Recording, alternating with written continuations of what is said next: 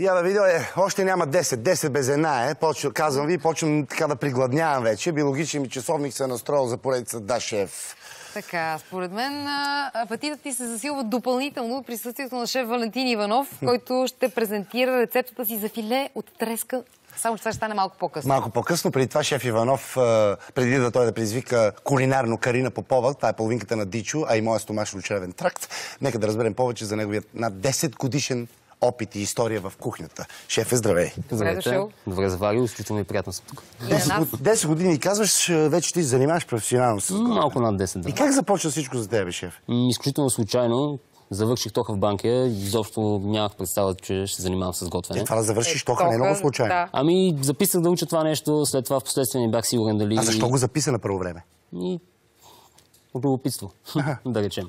Да. И след това не бях сигурен изобщо дали с това ще се занимавам.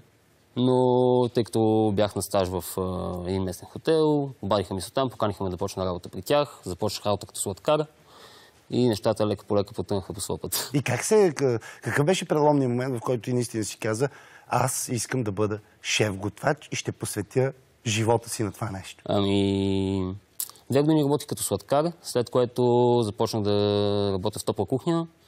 И по време на един сервис се случи така, че сервирах храна, която не беше, не беше достатъчно, добро, достатъчно добро качество. И да, в последствие бях доста така нахокан. И си дадох сметка, че до тогава работата ми беше по-скоро като хоби. Но ако искам наистина да се развивам в това нещо и да, и да постигна нещо, трябва да се фокусирам малко повече, малко повече концентрация. А и... какво беше сбъркал? Какво не му беше окей на това ястие? Бях дал някакви броколи за гарнитура, които бяха пресолени, нещо такова. Ужас. Да. Срам! Срам, срам. Падение. Десетина Това ли е момента, в който най-много те е било срам? Ми, може... Дори и в кавички си за някаква То в грешка. кавички, защото грешка, нали, няма Да, нищо срамно, да. всеки греши, то от грешка да се учим. Да, и виж, Алек Болдуин не е ми оръжие. Да, да речем, един от тези моменти. А, Никой- За кои други такива се сещаш? За кои други такива се сещам, в пак в едно ваше предаване трябваше да сготвя вместо да сложа олио, сложих оцет, трябваше да пържа нещо и пак бях пак, пак, тук. Да. да. Да, случ- Случват се такива неща. Добре, и как, кога дойде момента, в който напусна страната и започна да се развиваш чужбина? Ами, И може откъде започна? година и половина, след като вече работех като готвач, бях се преквалифицирал от сладкар, реших, че дойде момента, в който, ако искам наистина да се развивам, трябва да замина в чужбина и да се уча от, така да кажем, от най-добрите един вид. Да отида в ресторант, който е на доста по-високо ниво. Ема как се отива така в ресторант? То не е ли Ами- някакъв път да се измине? С а, запитвания, с а, много интервюта и след това с така дълъг изпитателен срок, да речем. И къде попадна първо? И попаднах в Амстердам, в Холандия, в хотела Лодор в Астория. Той е от варигата на хотели, в които аз до сега бях работил. И те бяха отворили ресторант, който 7, 7 месеца след отварянето си беше взел директно две звезди Мишлен. Да. Толкова И- бързо. Толкова бързо, да. Това мисля, че не се беше случвало в Холандия от за последните 17 години или нещо такова.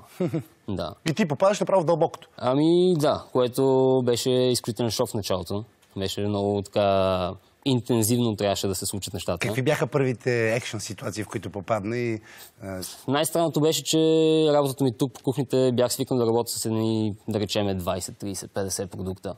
И отиваш там и ти виждаш наистина продукти и неща, които не си подозирал, ти не знаеш какво представляват. Стотици комбинации. Не, не, първо ти не, не знаеш какво представляват, второ не знаеш как да ги готвиш, какво да правиш тях. да. Така че малко културен шок. Аз учи се на терен, на практика. А в ресторант с две звезди Мишлен това как, Ами, как го допускат? трябва да не се- се ли очаква да си, да си готов? Трябва В да се адаптираш започнеш бързо. работа Все пак те в началото нали, не ти възлагат а, някакви супер сложни задачи, но да, трябва да си много бързо адаптиран. По колко часа на ден се работи на такова място, шеф? И различно. Между 12, работя съм и по 17 часа на ден, зависи. От 17 ресторанта. часа на ден. 17 часа на ден, да. А кое е най-така класното място, на което си работил до момента? Ами, двата ресторанта, аз съм работил в два ресторанта с две звезди. Двата ресторанта са коренно различни като концепции. Ресторанта, в който работех в Амстердам, той беше с а, салон от 36, чу- 36 госта и работихме 16 до 18 готважа в кухнята. Малко бутиково място. Да. Доколкото ресторант, в който работех в Лондон, пак с две звезди Мишлен, той беше в топ 50, все още е в топ 50 в света. А, той правеше по около 300 човека на ден, 120 за обяд и 180 за вечеря. Стига, бе. Но работехме 25 човека, 30 на смяна в кухнята. Това е ресторанта Динър. Да, динер на Хестен Бументал. Да, той е известен ресторант. Да. А, там какво си се случи? Имаше някаква... А, разбирам, че един ден си поп... а, са дошли много вип а, гости. Много специални Това гости. беше още, може би, на втората седмица, в която бях там, защото той ресторантът е на Хестен Бументал, но той не прекарва време там, не готви там. Да речем, че дори рядко се отбива. Той има много други ресторанти, занимава се с доста други неща, странични. И може би на втората седмица казват, ние имаме така, специална резервация, супер VIP за обяд. Ще задеш ли кой? Всичко още минава, не? всичко минава супер. Аз тогава работех на студена кухня в ресторанта и изведнъж влизат в ресторанта Хестен Бументал, заедно с Гордон Рамзи, да благодарят много за прекрасния обяд, всичко било страхотно, така, така, така. И последно на тази маса кой седя или е тайна още? Ами, те двамата. Нали? А, само те двамата. Аз си мисля, че да. има и други Не, те хора. двамата. А, добре. А, еми, това си е... Предполагам, вече е че признание. си се Да. почувствал доста по-уверен след Беше това. интересно, да. А, добре, и кога всъщност най-много си се притеснявал заради това, че знаеш, че сервираш на някой особено специален или очакванията са особено високи по една или друга причина? След Ами- това отразява ли ти се на, от един момент нататъка на начина по който ти самия се чувстваш и функционираш в кухнята? Ами не мисля, по-скоро не, защото всеки един гост е... Особено в тези ресторанти, всеки един гост е специален. Ако искаш да си на това ниво, най-важното е да можеш да дадеш константно качество. Това значи за абсолютно всеки гост, всяка една чиния да излиза по абсолютно един и същи начин. Да, независимо дали е Независимо Гордон Рамзи дали е или е просто Как или сега е- всички да. по правила. милионера Хикс, Абсолютно. когато не познаваш. Точно така. Да. Е, предполагам си научил там големи специалитети. Защо се върна в България? Ми, върнах се в България, за да прекарам време с приятелите ми, с семейството ми, защото работейки в чужбина и в нашата професия, дългите часове, малко или много се отдалечаваш от, от семейство и приятели. Да.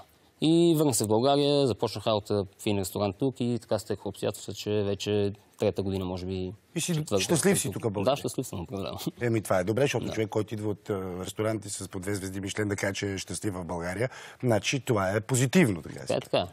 А ние можем само да сме щастливи, че ще приготвиш нещо тук в нашата малка семпла кухня. За нещо Веси те очаква вече там, така че ако искаш заповядай. Благодаря. Нашата също е със звезда.